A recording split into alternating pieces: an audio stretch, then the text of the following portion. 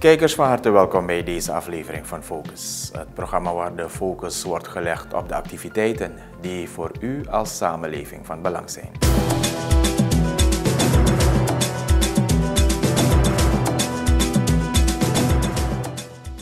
Vandaag in Focus. Vierde oliefonds voor Surinaamse kust. Minister Ramadin ontkracht total lockdown rond eind van het jaar. President Santoki houdt jaarafsluiting met Chinese gemeenschap. In staat van beschuldigingstelling ex-VP Adin en overhandiging contracten en beschikkingen personeel openbare werken.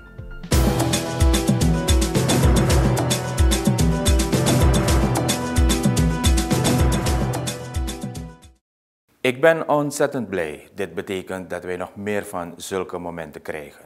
Voor Suriname is dit fantastisch. Zo reageert staatsoliedirecteur Rudolf Elias op het nieuws over een vierde olieput. De oliemaatschappijen Petronas en ExxonMobil hebben de vierde grote oliefonds in het Surinaams kustgebied gedaan. Petronas Suriname, ENP-BV, heeft op vrijdag 11 december 2020 melding gemaakt van de ontdekking na het succesvol boren van de Sloanea 1 exploratieput in blok 52. Wat deze fonds ook bijzonder maakt voor directeur Elias is dat deze put niet ligt in blok 58, waar de eerdere ontdekkingen werden gedaan. De staatsolie-topman zegt vervolgens dat het ongebruikelijk is dat er zo kort achter elkaar vier oliefondsen worden gedaan. Hij zegt met volle overtuiging positieve verwachtingen te hebben over de ontwikkelingen in het Surinaamse offshoregebied. Er zijn een aantal bedrijven bezig boringen te verrichten. Ten aanzien van de olieput Kiskisi, alwaar Total en Apache boringen verrichten, zegt directeur Elias dat het mogelijk in januari of februari 2021 bekend zal zijn wat er daar is. Ook zal er naar verwachting voor het einde van 2021 resultaat binnen zijn van boringen bij drie andere exploratieputten.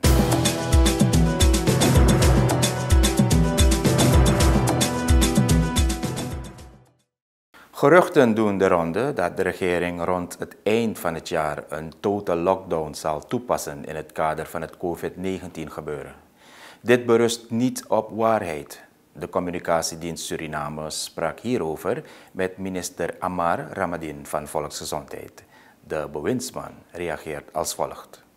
Nou, laat mij allereerst zeggen dat uh, de brief waarover gesproken wordt, er daar, wij daar geen kennis over dragen. Uh, allereerst moet ik dat dus bestempelen als te zijn fake. Um, wat wij wel hebben, en dat is dat wij twee wekelijks als regering de situatie met betrekking tot de COVID-ontwikkelingen ehm, uh, in Suriname blijven volgen. En ook daarbij de toespraak doen en de maatregelen aankondigen daarbij. Uh, wat wij als in gedachten hebben is dat de maatregelen gebaseerd zijn op basis van de ontwikkelingen in Suriname. Dus de trend met betrekking tot COVID wordt goed gevolgd. En we hebben sinds uh, een hele poos al um, geen total lockdown gehad. Simpelweg omdat het feit dat Suriname het heel goed doet met betrekking tot COVID. Het gaat heel goed, de situatie is onder controle. Er is op dit moment geen reden om te twijfelen aan de situatie. Er is geen reden ook om direct over te gaan tot de totale lockdown. Dat zou zeer destabiliserend werken voor de ontwikkeling in Suriname. Ik moet, mag hierbij bevestigen dat de, het outbreak management team elke twee weken bij elkaar komt om een advies te geven aan de minister. En vooralsnog zijn er geen indicaties voor een lockdown. Wat we wel in de gaten houden is de wekelijkse trend. Als mocht blijken dat tot en met name bij kerst de situatie in Suriname gaat verergeren, dat hebben we ook keer op keer gesteld, dan zal er wel reden zijn om um, enigszins de maatregelen aan te passen. Maar tot een totale lockdown, daar kan de samenleving garanderen dat dat voorlopig absoluut geen sprake van is. Dus al de berichten en de geruchten, ik heb ze ook gehoord, ik krijg ze ook via de app. De regering wordt ook continu geconfronteerd met dit soort berichten. Moet ik zeggen dat vooralsnog als fake wordt bestempeld en er alleen maar zorgt voor onrust.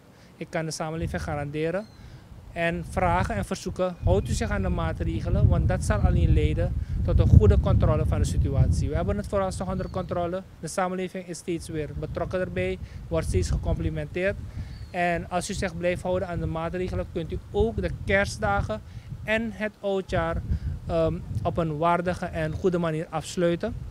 Dus bij deze benadruk en bevestig ik dat er absoluut geen sprake is vanuit de regering voor een totale lockdown. Omdat er enorm veel ruis wordt veroorzaakt hierdoor en ik dit wil ontkrachten.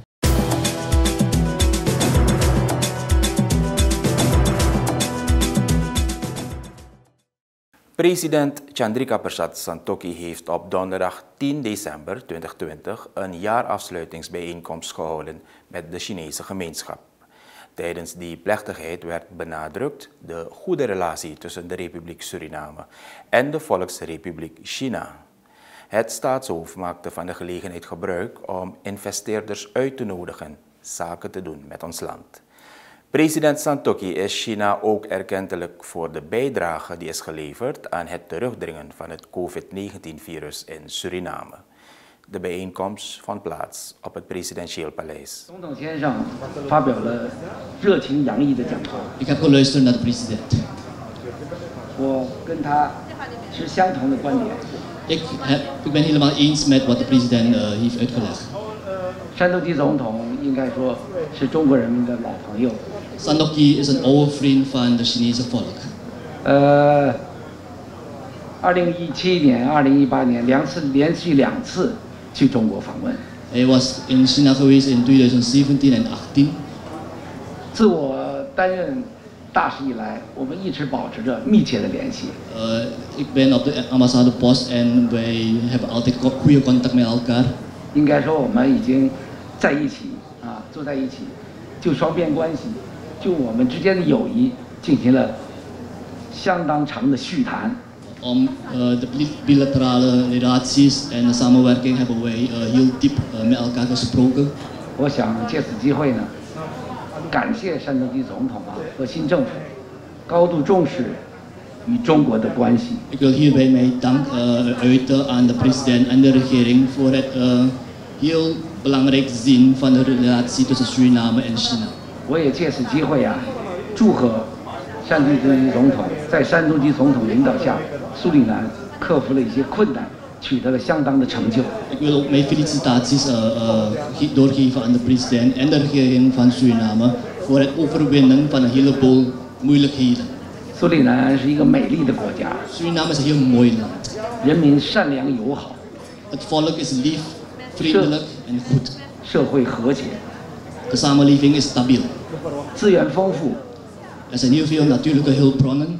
苏里南的前程似锦，前程很 De 前程似锦。 toekomst en potentie van het land zijn enorm. 呃，我先插这么几句话，然后我再读几句我这个准备的稿子。 Ik wil gewoon mijn een paar woorden zeggen en dan pas ga ik bij mijn speech uitlezen. Dit jaar is een heel bijzonder jaar.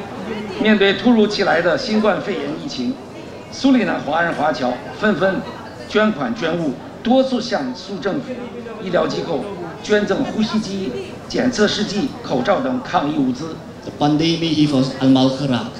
En de Chinese gemeenschap heeft snel gereageerd door uh, donaties te, te geven aan, de, aan Suriname, uh, mondkapjes en andere gereedschappen.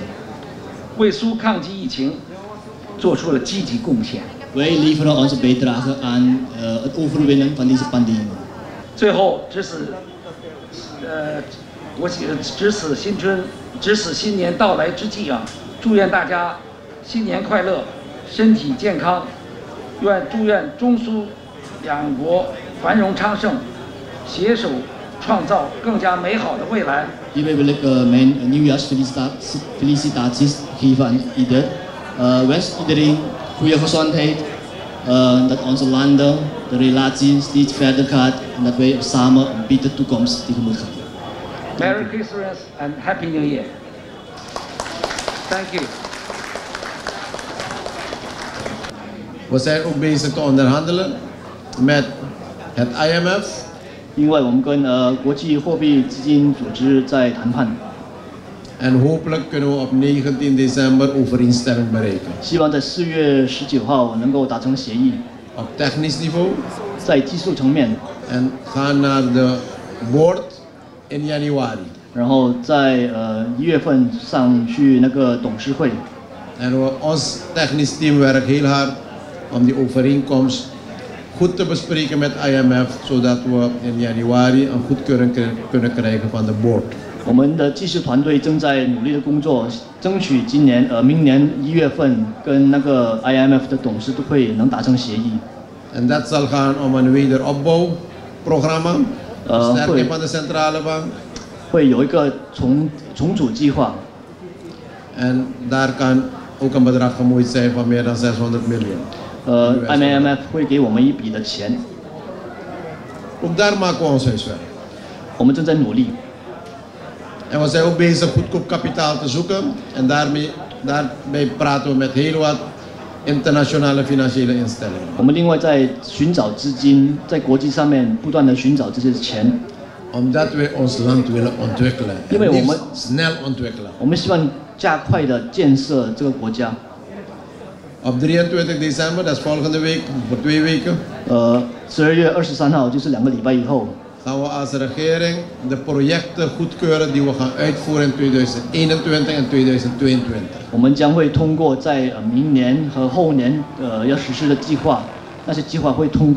En eerste tweede week, tweede week januari gaan we architecten, aannemers, alle deskundigen uitnodigen om onze projecten te presenteren zodat die organisaties, die bedrijven kunnen inspelen op onze projecten. 明年一月、二月就请工程师、专家等等跟政府呃一起商量我们将要实施的计划那些呃项目。 En we willen maart, april starten met de uitvoering van de projecten, alle 争 projecten. 争取明年四月份开始实施那些项目。 Dit gaat bijdragen aan werkgelegenheid, 呃，这有利于就业， dit gaat bij- bijdragen aan de productieverhoging 有利于呃呃呃生产力的发展。 En dit gaat bijdragen namelijk dat de o- economie verder gaat stabiliseren en de koers verder gaat stabiliseren. 有利于进一步的稳稳定经济、稳定外汇。 Dit is wat we allemaal in een korte tijdsperiode hebben gerealiseerd. 这些都是我们希望在短期内实现的事情。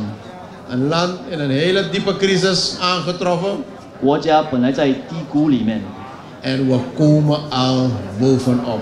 我们我向大家可以保障， Dat we dit land onder mijn leiding een paradijs gaan maken. 在我的领导下会把斯里兰建设的非常好。 En we gaan daarop een toast uitbrengen. 我希望为此干杯。 Mag ik uitnodigen om het glas te hebben en een toast uit te brengen. In de eerste plaats op een goede samenwerking 呃，为好的合作干杯。 tussen ons als land en de Volksrepubliek China. 一方面，我们斯里兰与中国， Tussen ons als Surinamers, waarvan u deelgenoot bent als Chinese gemeenschap.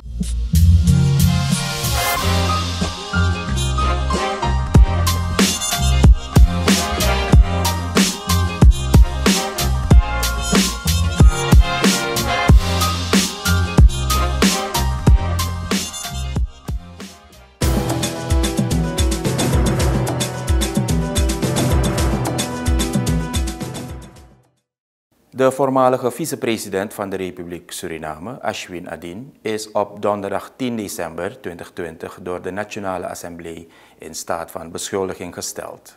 De vordering van de procureur-generaal om Adin in staat van beschuldiging te stellen is goedgekeurd met 31 stemmen voor en 15 tegen. De fractie van de BEP heeft de zaal verlaten voordat de vordering in stemming werd gebracht.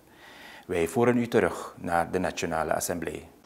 Met betrekking tot een vordering tot in staat van beschuldigingsstelling van politieke ambtsdragers op grond van de wet in staat van beschuldigingsstelling en vervolging van politieke ambtsdragers zijn we op een punt beland waarbij ik zelf voel dat dit toch wel een pijnlijk punt is binnen de parlementaire activiteiten. Voorzitter, Waarom zeg ik dat?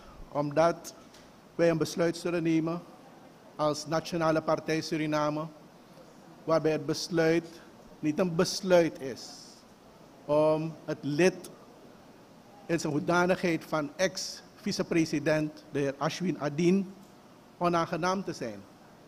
Dat is geen sinds de bedoeling.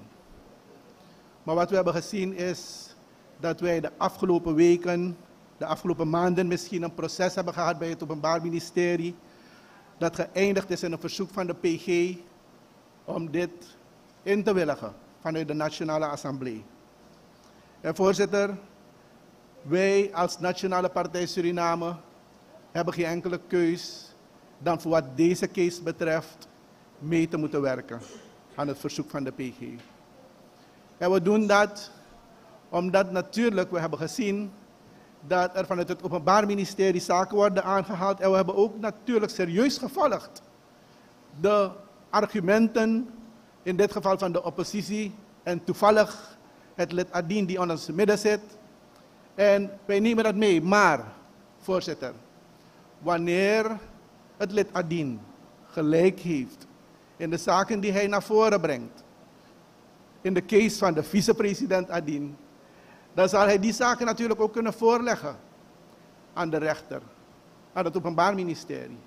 En ik heb begrepen dat hij aan de commissie die, die belast is met deze aangelegenheid ook heeft aangegeven dat hij wel vertrouwen heeft in de rechtspraak. En meneer de voorzitter, ik ben ervan overtuigd en wij doen een beroep op het systeem om haar werk op een correcte manier te doen. En wanneer natuurlijk de heer Adin verder in zijn proces zal gaan, dat natuurlijk het recht zal mogen zegenvieren. Als hij het recht heeft aan zijn zijde, hij heeft de gelegenheid om zijn onschuld te bewijzen binnen het rechtssysteem.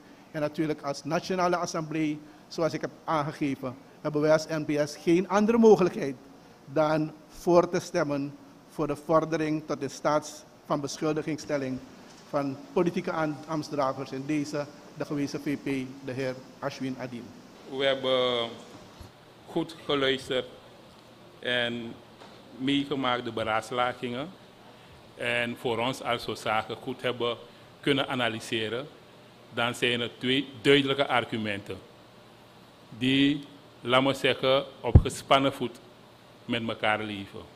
Eén argument, welk luidt van dat het recht zijn beloop moet hebben.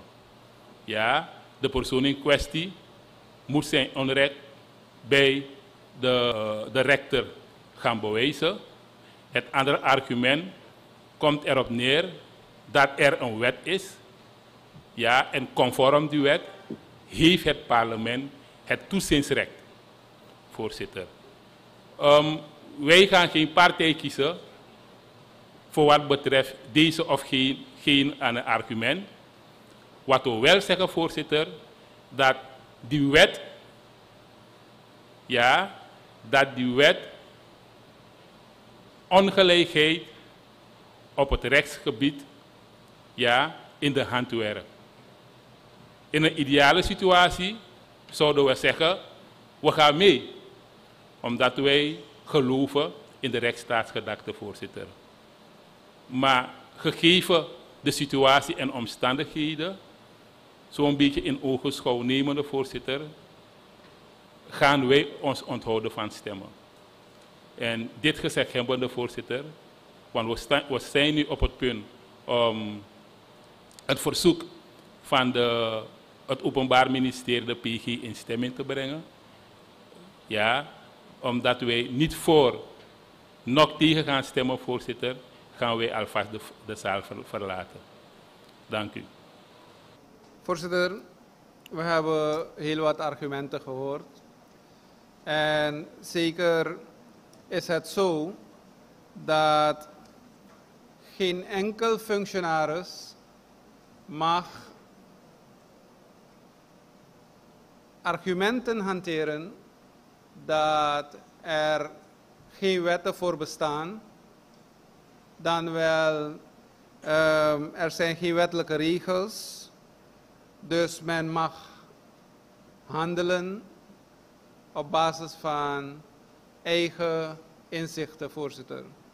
Voorzitter, we kennen in dit land, en dat is een gebruik in de juridische wereld, in de wetgeving, onze legaliteitsbeginsel, voorzitter. En ons handelen moet, moet altijd gebaseerd zijn op regelgeving, voorzitter. En wanneer we zeggen dat die zaken er ontbreken, dan hebben we ook een plicht op ons om er naar te werken. Maar niet eigendunkelijk gaan handelen. Voorzitter, ook zo is het dat wij uh, gerefereerd werd naar de nieuwe comptabiliteitswet.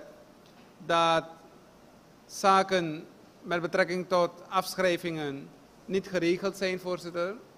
Voorzitter, er is geregeld materiaalbeheer, dat er richtlijnen moeten komen van, het van de minister van Financiën, voorzitter. Dus daar zo kan men niet op beroepen dat de, die zaken er niet zijn. Ja, we hebben weliswaar bij de behandeling van comptabiliteitswet nog hier de discussie gehad. Wie stellen we verantwoordelijk? En de zaken als directeur en onderdirecteur die rekenplichtig waren, dat zijn weliswaar weggehaald.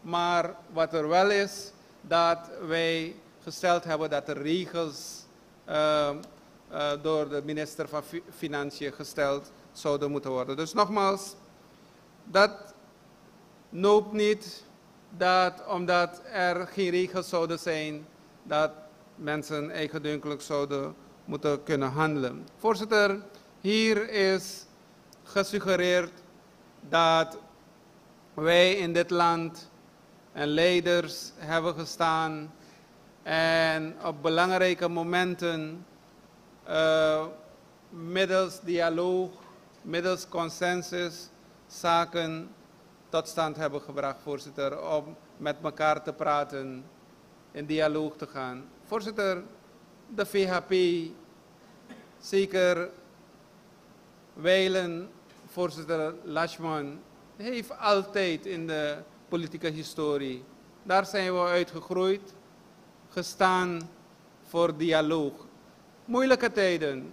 De vicepresident weet het, of het nu binnenlandse oorlog is, of het nu onafhankelijkheid is, noem maar op. Er, er is altijd, hij heeft altijd zijn bijdrage geleerd en daar komen we spruiten vanuit als eh, VHP. Voorzitter, daarom, we kennen het. We weten dat praten goed is. We praten met een goede inborst, voorzitter. Praten niet om scherpe kanten weg te halen, maar het heeft ook grenzen, voorzitter. Want, voorzitter, terwijl dit soort zaken, zoals we weten in onze wetboek van strafvordering, er zaken uh, uitgevoerd worden, zijn er ook instituten, functionarissen die hier aan werken, voorzitter. Mensen zetten zich in. Of het nu openbaar ministerie is of onze rechterlijke macht, die ervoor moeten waken. Men zet zich in. En we kunnen niet hier staan en zeggen, omdat er dialoog en consensus moet zijn, dat we hun werk negeren, voorzitter. Dat is niet de bedoeling. Dat heeft de wetgever nimmer bedoeld en dat hebben grote politieke leiders ons nimmer geleerd. Wij moeten wet en recht in dit land respecteren, voorzitter. Voorzitter, we hebben situaties gehad hier en niet zo ver in onze historie. En het heel jammer is dat deze wet wordt, dat het een schaduw heeft, voorzitter. Laten we kijken naar de vorige wet uh, die hier vordering dat behandeld is van de heer Hoefdraad. Voorzitter, wat zien we tot de dag van vandaag? Die samenleving heeft geen genoegdoening. Hoefdraad is spoorloos, is voorvluchtig, voorzitter. Wij gaan ervan uit, laten we vandaag een besluit nemen. En een besluit nemen, voorzitter, een vordering goedkeuren wil niet zeggen dat iemand schuldig is, voorzitter. Een vordering goedkeuren wil zeggen dat wij de instantie die daarmee belast is met rechtspraak de mogelijkheid geven om daaraan te werken. Voorzitter, daarom, daarom roepen we op. Roep ik mede namens de hele coalitie. De heer Greg Rusland heeft daarnet ook geïllustreerd. De hele coalitie roepen we op, voorzitter, om het parlement, alle leden, om mee te werken. En laten we de instanties die zich daarmee, daarmee belast zijn, de mogelijkheid geven om hun werk te doen. Wij vinden het jammer dat, een, dat vandaag Kunt het gaat om een collega van ons, maar daar gaat het niet om. Wij kijken uit naar vervolg van deze kwestie. En als mocht blijken dat hij onschuldig is, voorzitter, dat wij dan die samenleving gediend hebben. Nogmaals, we roepen op. Laten we, waarvoor we hier geroepen zijn, om ervoor te waken, om alle instituten de mogelijkheid te geven om hun werk naar behoren te doen, om dat te kunnen doen. Nogmaals, we zullen als coalitie voorstemmen voor deze vordering. Dank u wel. Nu is het moment aangebroken, leden, om de vordering tot het in staat van beschuldiging stellen van de heer Adin Michael Ashwin, zijnde gewezen vicepresident van de Republiek Suriname, zoals ingediend per brief door de PG bij de Nationale Assemblée op 26 november 2020, krachtens artikel 2 lid 1 en verder van de wet in staat van beschuldigingstelling en vervolging politieke ambtsdragers SB 2001 nummer 72 zoals gewijzigd bij SB 2007 nummer 101 in stemming te brengen. De vordering wordt in stemming gebracht. Wie is stemmotivering? Lid Bova. Doen. Voorzitter, dank. Wij wezen- wensen van deze zijde onze stem te motiveren, voorzitter. Voor dat doen te benadrukken, voorzitter, dat wij inderdaad hier ook wensen te onderstrepen de onschuldpresumptie van het recht als algemeen beginsel.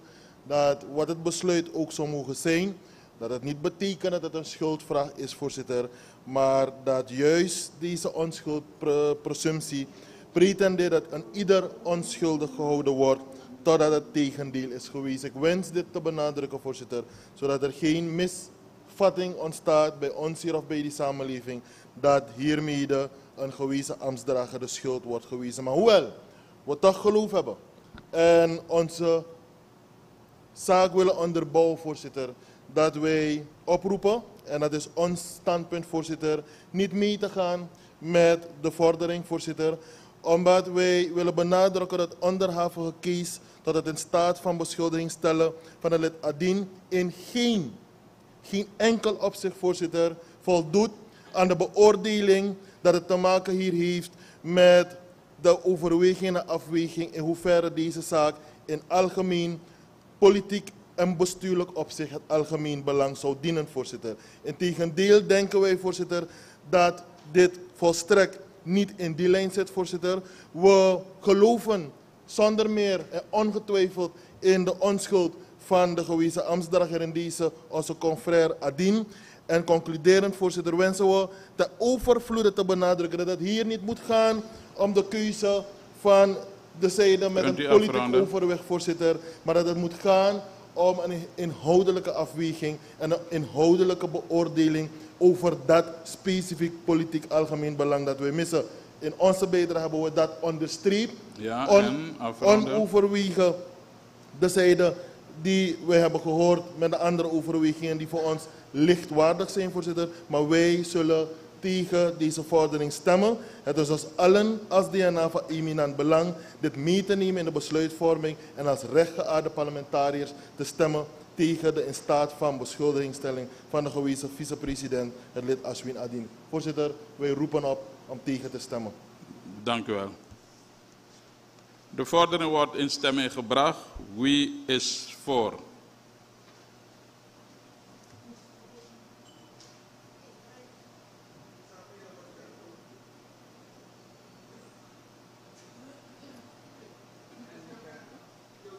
...31 voor. En wie is tegen?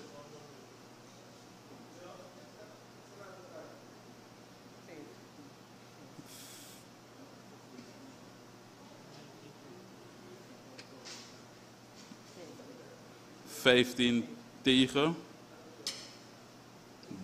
Deze vordering tot het in staat van beschuldiging stellen van de heer Adin Michael Ashwin, zijnde gewezen vicepresident van de Republiek Suriname, is aangenomen met 31 stemmen voor en 15 tegen.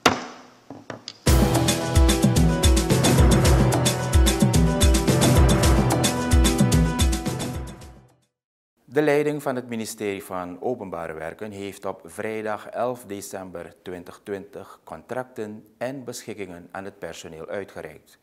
Hiermee is aan deze groep de nodige rechtszekerheid gegeven. De communicatiedienst Suriname heeft dit moment van nabij meegemaakt en deelt de volgende beelden met u.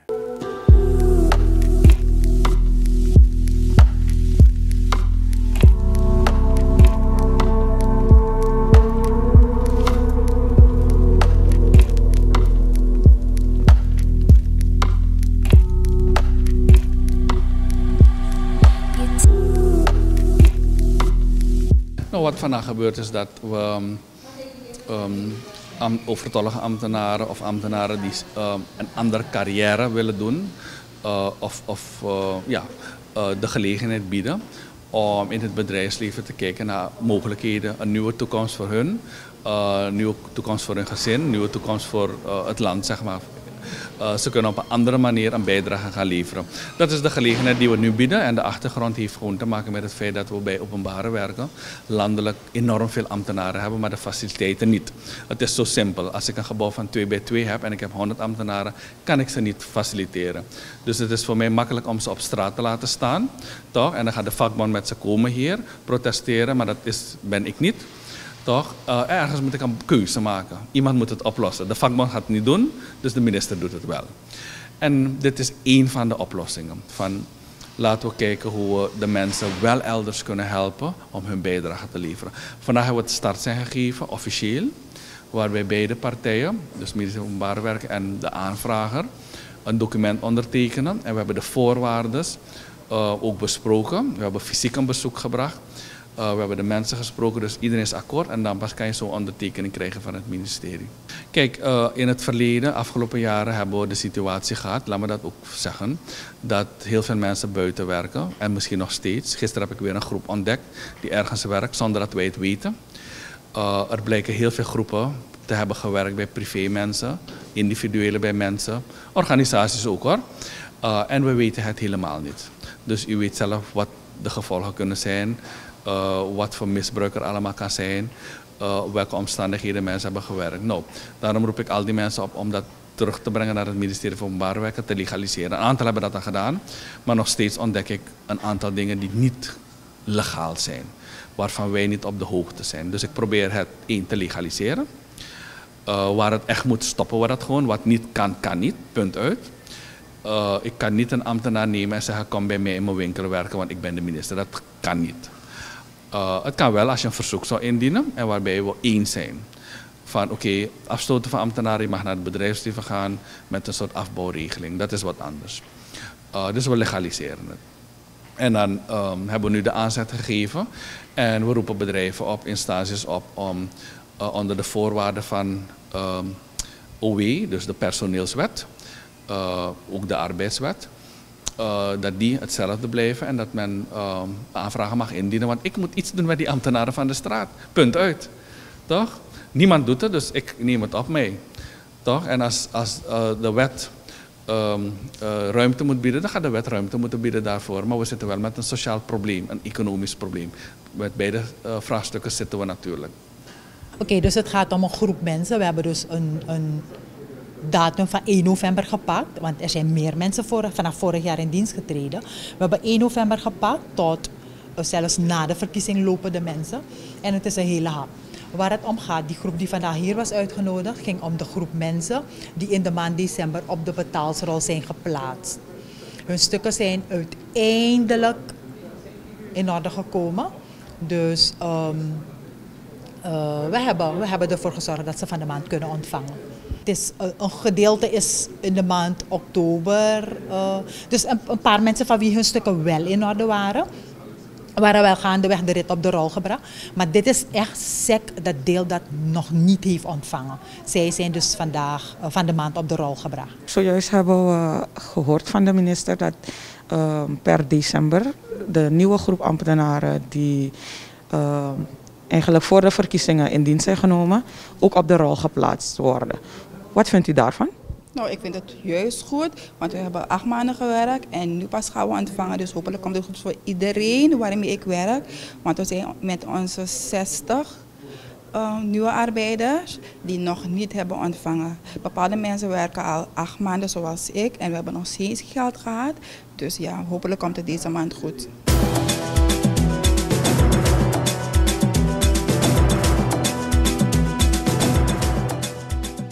En dat was Focus. Bedankt voor uw aandacht. Goedenavond.